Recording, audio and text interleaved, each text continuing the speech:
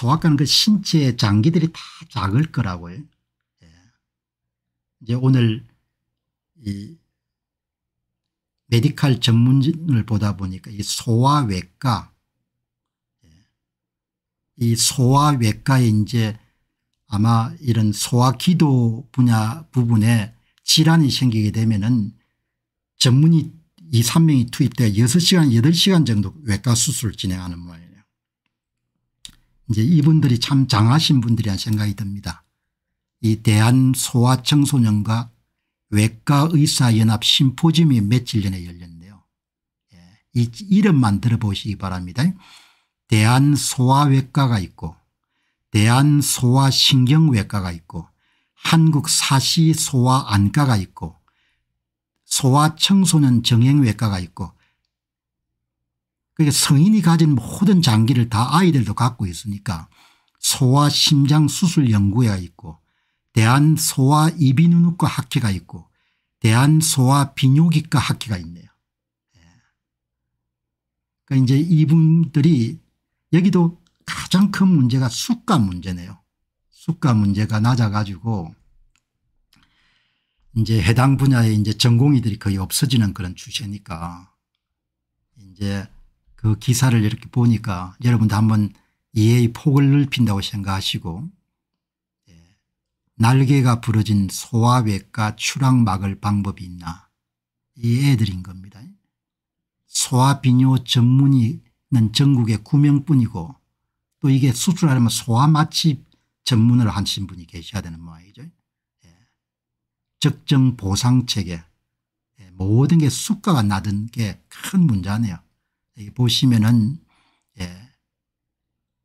불공정한 수가 체계가 지속이 되면은 아이들의 수술을 전담할 의사도 사라지게 됩니다. 소아 비뇨의학과 수가 체계 문제점과 해결 방안의 발제를 한 성인 수술 대비의 수가가 낮고 일관성 없는 삭감 기준이 적용되고 있고 소아수술 관련 난이도 반영 한계 등 때문에 소아비뇨 수가 체계 문제가 가장 심각해서 전국의 전문의가 투명에 불과합니다. 아이들이 모든 장기를 어른들과 똑같이 가지니까 모든 분야 여러분들 소수지만 전문의들이 있어야 되는 겁니다. 예. 전국에 소아 비뇨 전담 전문의가 9명인데 이제 한 명이 이제 개원 일을 했고 이제 나머지 8분은 지금 대학에 계시는 거예요. 소아가 줄면서 수술 건수가 줄고 상대적으로 수가도 낮아지면서 전공의 지원자도 줄어들 수밖에 없습니다. 그리고 대학병원에서도 수익 문제 때문에 추가적으로 인력 충원을 하지 않으려고 합니다. 소아수술은 난이도가 수가에 잘 반영되지 않습니다. 요도하열은 성형외과에도 수술이 어려워서 포기할 정도입니다. 기능적인 문제 때문에 비뇨의학과에서 대부분 수술하게 됩니다.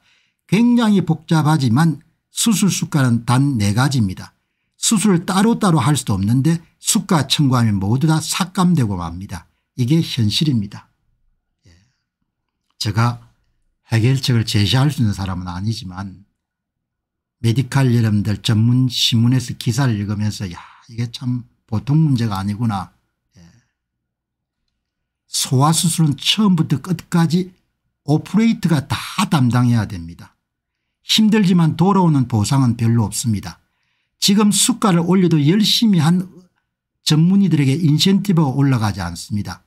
병원도 그런 불합리한 부분을 바꿔야 소아수술이 활성화될 겁니다. 여기 오늘 초정님께서 예전에는 소아 탈 장 유아가 사산시키면 의사가 살리고 있는 살렸는데 이제는 그냥 일이 추락시켰습니다. 생명의 귀중함을 모르는 공무원들이 한심합니다.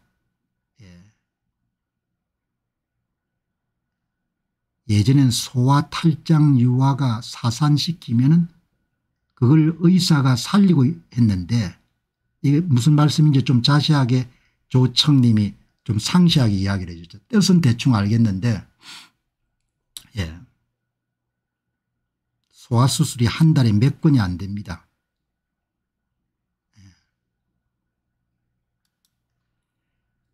이비인후과 중에 소아를 전문으로 표방하는 의사들이 거의 없습니다. 해외 이비인후과 학회는 소아기도나 희귀 난친 질환에 관련한 학술적인 관심과 노력을 50에서 60% 기울입니다. 하지만 우리는 학술 프로그램에 관련 내용을 넣을 수가 없습니다. 힘든 수술도 다 하기 싫어하는 상황에서 교육도 안 되고 수련도 안 됩니다. 소화기도나 희귀 난치 질환을 보는 인력이 없습니다. 걸리면 다 죽어야 되는 거네. 소화기도 질환 수술은 6시간 8시간 이상 소요되기도 합니다. 이 수술을 할 수 있는 전문의는 2, 3명입니다. 이것에 비해 수가는 너무 낮습니다. 예를 들어 소화기도 질환인 복잡 후두 협장증 수술 연골 이식수 수술은 8시간 정도 걸리고 전문의 2, 3명이 참여해야 됩니다. 수가는 불과 103만 원에 지나지 않습니다.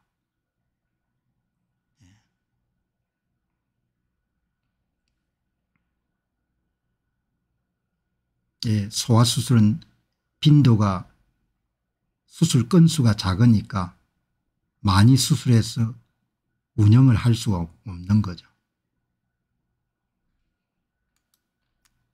9, 시간 이상 소요되는 어려운 수술 수가가 100만 원 수준입니다. 병원 입장에서 보면 8시간 수술방을 잡고 여러 사람이 일하는데 이런 수가를 받으면 예, 병령에 타격이 옵니다. 소아이비인후과는 외면당하고 있기 때문에 수술하는 의사들이 상당한 상실감에 소명감마저 잃고 있는 것 같습니다. 인기가인 마취 통증 의학과 중에서 깊이 영역으로 꼽히는 것이 소아마취입니다. 소아외과 분야 수술 위해서 필수적인 것이 소아마취가 필수적인데 예, 이게 참 이번 사태를 통해 참 저도 참 많이 예. 나라 예, 나라가 참 발전하고 의료 분야도 그럭저럭 운영돼 왔는데 모든 문제점을 다 그냥 다 뭉개면서 왔네요. 예. 최근 전공의 집단 사직 상황에 어려운 의구 시국에서 소아외과와 소아마취 전문의를 확보하는 일이 더욱 힘들어지고 있습니다. 총각을 다투는 소아외과 수술들이 지연되고 있습니다.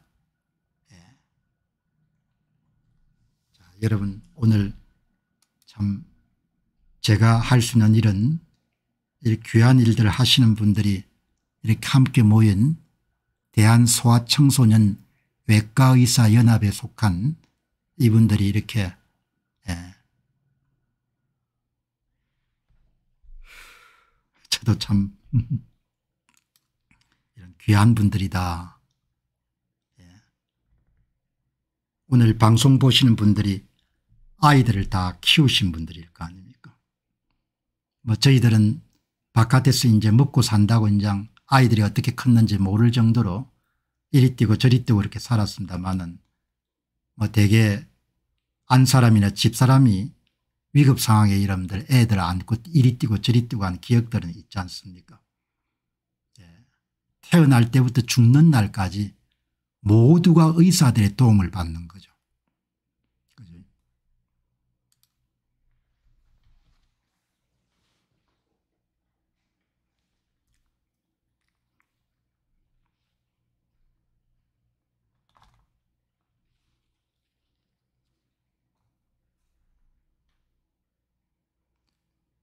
자, 여러분 보시죠.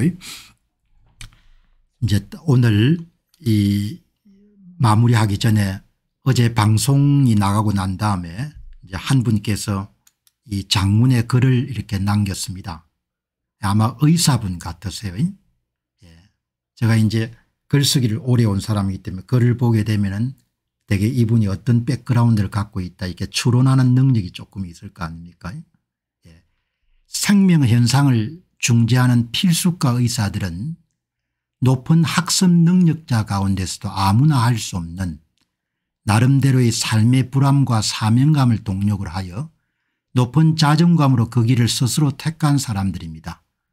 그런데 의사 수를 늘리면 오갈 데 없는 낙수 의사들이 어쩔 수 없이 할 수밖에 없다는 식의 너무나 충격적이고 모멸적으로 그들의 자존감에 상처를 주는 도저히 말도 되지 않는 의사 노예화 정책을 현장의 의사들과 한마디 상의도 없이 마구 밀어붙이는 정부를 도대체 어떻게 해석해야 되겠습니까? 아무리 힘들고 어려운 분야라도 공동체에서 누군가는 해야 할 필수 의료가가 원가 이하의 수가와 고마움을 모르는 적방하장식의 의료 풍토 그리고 전달 체계의 붕괴 의료 합병적을 의사가실로 몰아 처벌하는 그런 유일함 등으로 오랜 세월 수련하고 학습했던 전문 과목의 꿈을 접고 어쩔 수 없이 가족을 위해 워라벨을 찾거나 헛되이 되어버린 지난간 삶을 돈으로나만 위로받기 위해서 미용의사의 길로 전향한 수많은 의사들의 자존감에 깊은 상처를 주는 정부를 도대체 어떻게 이해할 수 있겠습니까 그리고 미용의사와 필수의료가를 구분조차 못하는 죄 없는 사람들을 죽어야 저성인 줄 알도록 내배를 둘 수는 없지 않습니까 이렇게 오늘 방송을 보시는 분들은 이 의사분께서 무슨 이야기를 하고 싶어 하는지를 다 이해를 하실 겁니다. 예. 보통 사람이 할 수 없는 일이지 않습니까